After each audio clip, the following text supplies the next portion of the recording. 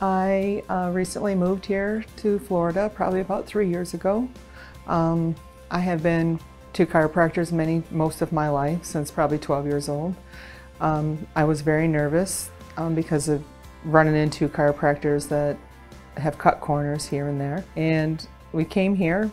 This is my first visit, and I'm very pleased. Like, I was very uh, excited with his adjustment. I definitely will be back. Um, and I've had chronic problems, and he did such a great job. I'm really happy to find him. I was very nervous actually coming today, and uh, I'm, I'm very pleased.